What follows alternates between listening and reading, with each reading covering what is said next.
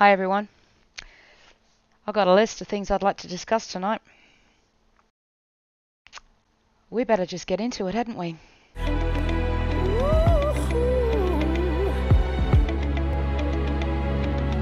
gonna stop now, baby.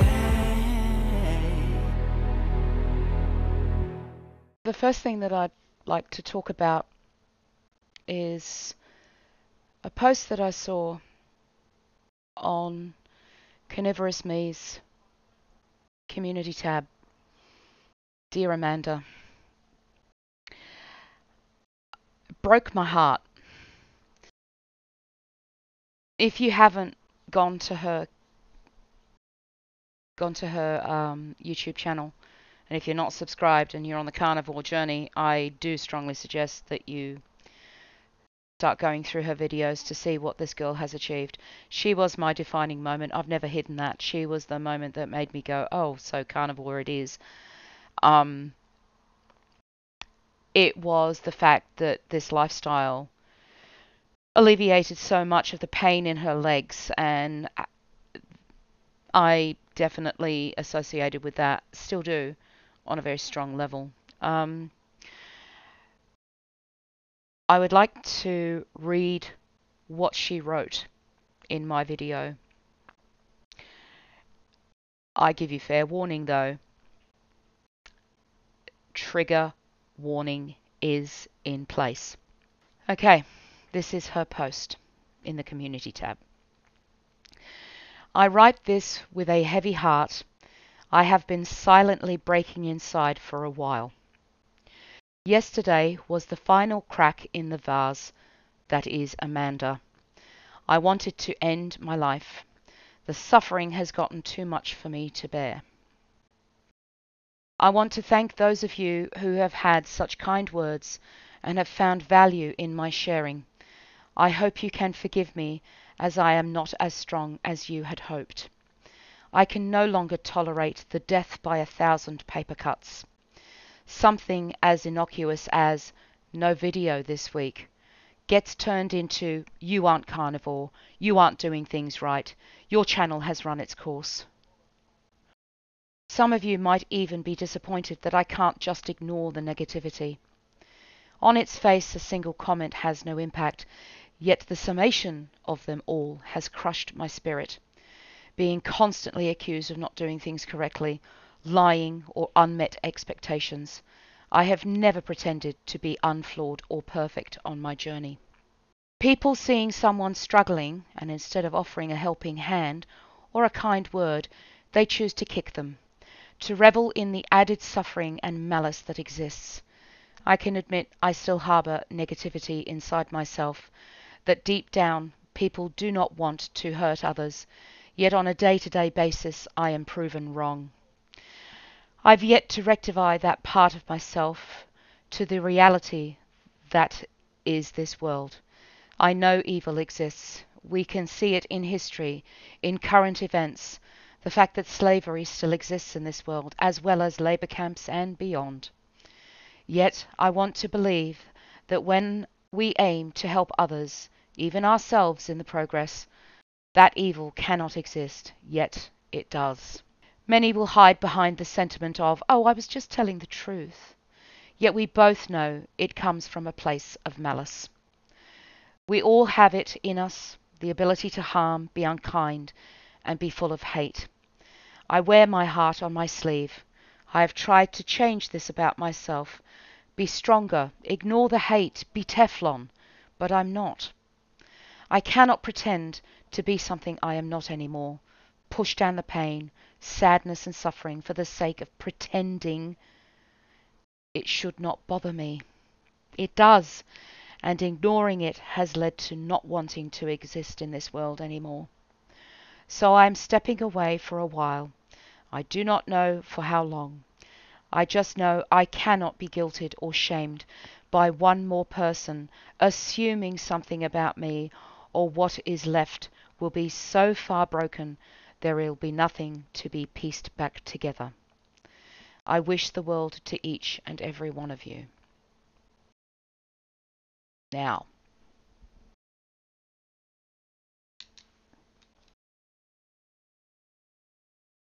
I can forgive an awful lot of things in this world. I think we all have a very deep sense of forgiveness and what it means. But you could ask my husband, because there is one thing that I cannot forgive. I've tried over the years, but I can't do it.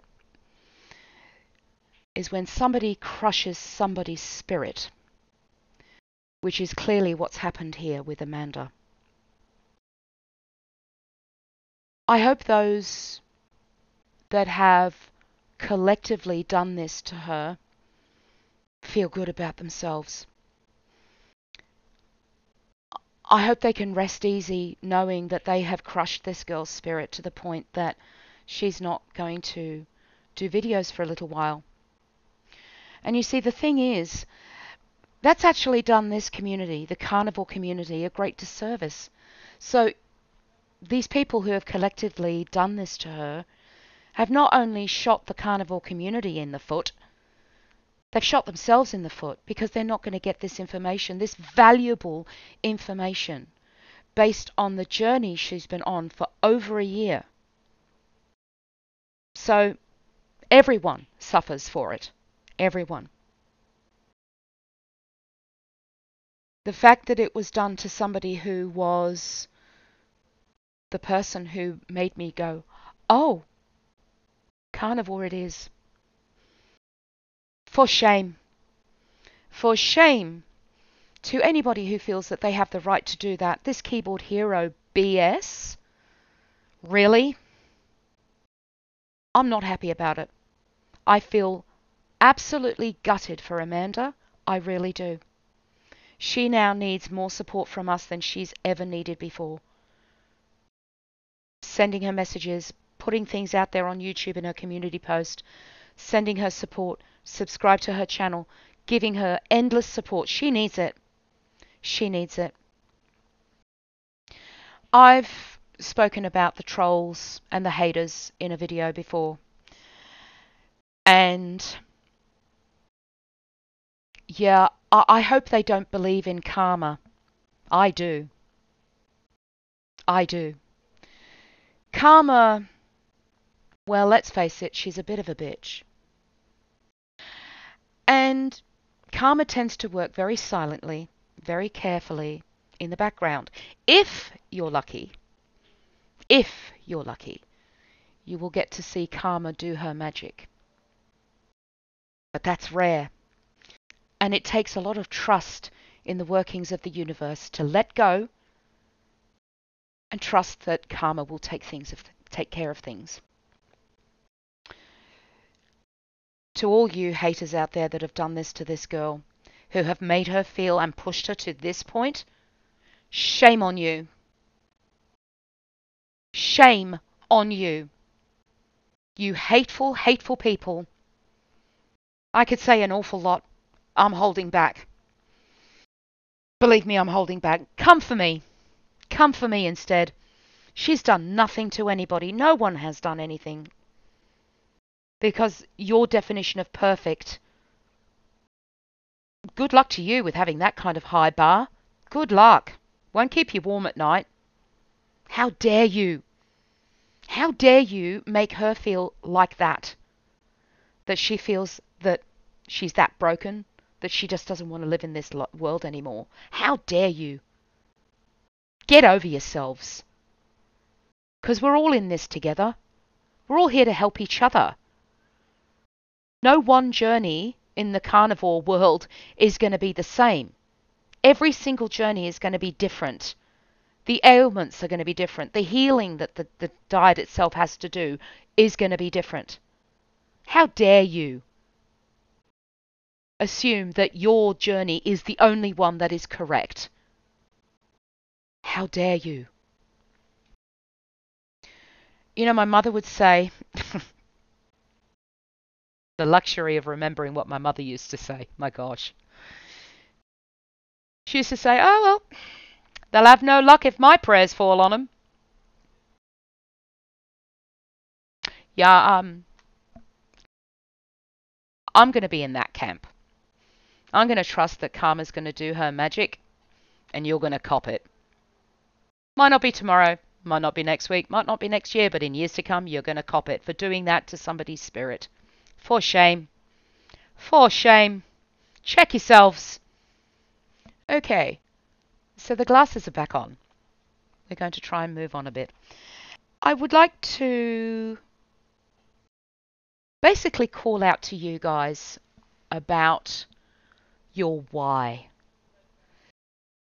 Why have you adopted the carnivore lifestyle? What's your why? And is your why enough of a rock bottom to keep you on the straight and narrow? There's the question. Because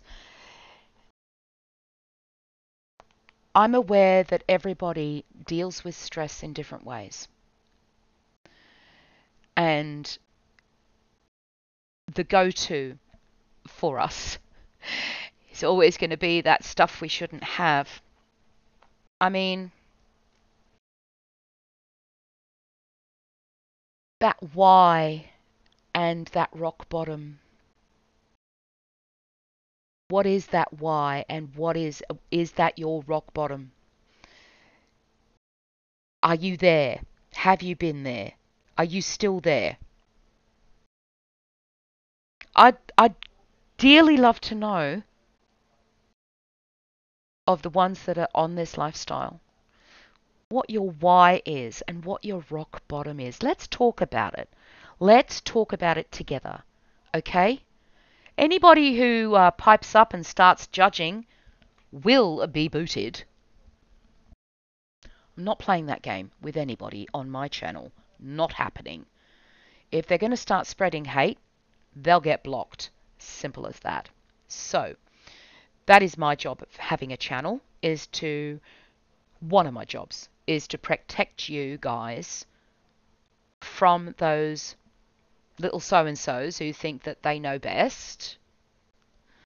So, yeah, let's have a chat about the why you're on it, and let's have a chat about is that why closely associated to your rock bottom? What's the connection? And is that why and is that rock bottom strong enough for you to hang on to in times of stress and trouble so that you don't veer off the course, so to speak. The other thing that I would like to talk about is not an easy thing for me to talk about, but I'm going to anyway. I think I think with last week's video midweek video, I think I've talked about the hardest thing that I'm ever going to talk about around here in these here parts. But let's give it a go. All right?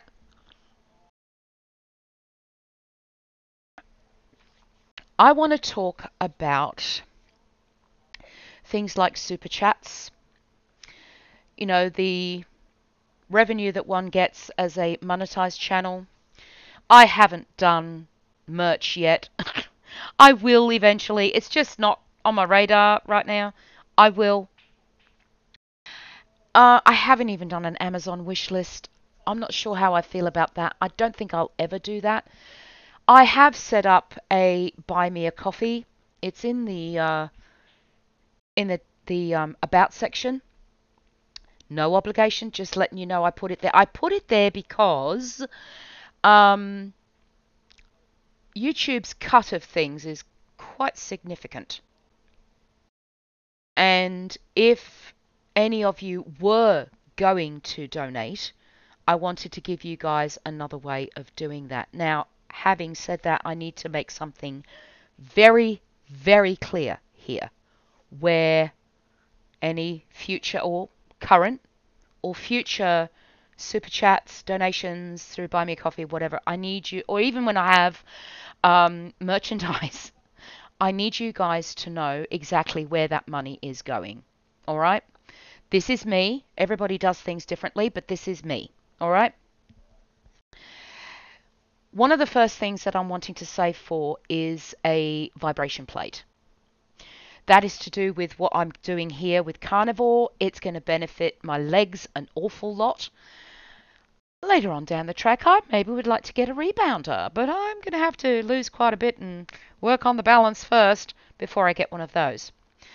Um, the cost of meat, although cheaper than buying all the rubbish, I would like to be able to put any funds that I get through this channel, whether it be through merchandise, super chats, buy me a coffee, anything like that, is going to go straight into this lifestyle that I have adopted, be it meat or the vibration plate, it's going to do that. I'm not interested in furnishing my home. Um, that's not what I'm about. I think that's just a little bit cheeky. Uh, I, am just not interested in doing that. That's not what I'm about. Um, if one is in a carnivore community, I just feel for me, I would feel better knowing that anything that you guys donate is going to go, go towards the lifestyle that I have adopted. I think that's that is the right thing to do. Like I said, I'm not interested in getting camera lenses. I've got this. Um, I'm not interested in getting GoPros. I'm not interested in all of these gadgets and stuff. I don't need them. You know, I, I I've got a house full of stuff. Um, a garage, uh, three quarters, uh, half a garage full of stuff. I can't even get into the house. So, you know, there's no point in me having an Amazon wish list of stuff to put in my home. No point. I've got a freezer. If I want a meat grinder, I'll go and buy one. You know, chances are my husband, well, my husband bought me this camera, for instance, because the one in the laptop was driving me nuts. So, I just needed you guys to know from me that in future any donations will go straight into this lifestyle that I've adopted, whether it be for meat or whether it'll be for something that's going to help me on my journey from a health perspective, be it the vibration plate, which is the first on the list, um, or the um, the rebounder in the future. And that's where the money's going. I will not be using it to pay my bills. I just think that that would be insulting to you. So I'm never going to do that. And I'm never going to have an Amazon wish list. Not interested. Nah. So, I think we need to get into a bit of a montage.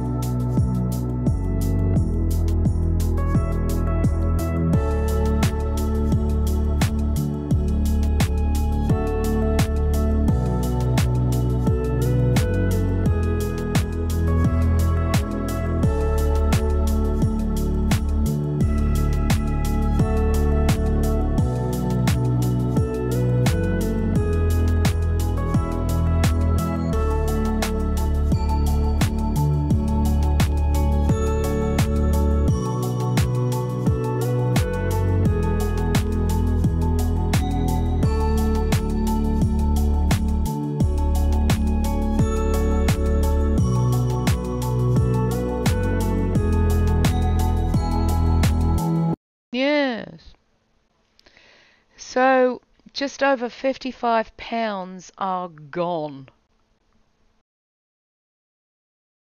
I honestly didn't think that I would actually have a loss this week. I'll tell you why. I have had a lot of late nights this week. A lot. And not getting the sort of rest that I knew I should be getting. Um, may or may not have been drinking just a little bit more coffee than I'd like. Maybe not quite as much water as I'd like, um, but still eating meat. but yeah, there are the losses. Then it's nuts. I'm just letting the body do what it needs to do. Honestly, that that is, you know, my my husband actually, as I was measuring myself, he actually did the um, spreadsheet on my phone. He went, he said, you, I'm just looking at your measurements now. They're all over the place. I said, I know. I said, but I'm fine with it. He said, really? I said, yeah. I said, I'm fine with it. I said, because I know that everything's just moving around and the body's just, this is a very different kind of diet lifestyle.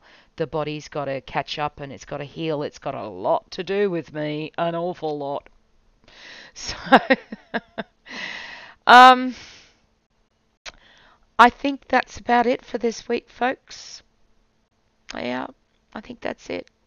Had a few things I needed to get off my chest, and that whole thing with Amanda, I, I needed to say something. I really did, because that's just what people have done to make her feel like that. It's just not right. It is just not right. And I wouldn't be me if I didn't address it.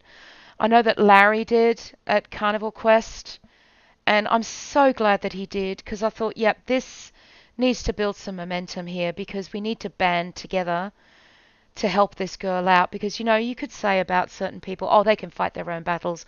Obviously she's in a place where her only option is now to just walk away and i'm like wow that ain't right. So i'm really glad that larry said something i really really am and i thought yep i saw his video. I thought i'm going to say something too. I have to. I wouldn't be me if i remained silent because that's just breaking somebody's spirit is just not right. It's just not right. And the other thing, talking about everybody's why and talking about how how that relates to the rock bottom that you may or may not have reached and how those two things will come together and hopefully help you in times of trouble in times of stress in times in in you know in times where you're faced with some temptations um, I want to see what we can generate here as a collective to see what we can come up with tips and tricks on how we can sort of like, you know, go, no, I'm not looking at that. That is a box of shapes. I am not looking at it. I have no desire to eat it. It can go to hell. And the, there's a fine line between doing that and actually going into the bag and going, um, num, num, num, num, num, num. It's a very fine line. And I want to see if we can actually figure out a way to stand on that fine line confidently, knowing that we will make the best choice for ourselves. That's what I want for us. So, on that note, I would like you to please be kind to those around you. Protect your peace. Don't take any crap. And be kind to yourself. I love you guys so, so much. Bye for now. Mwah.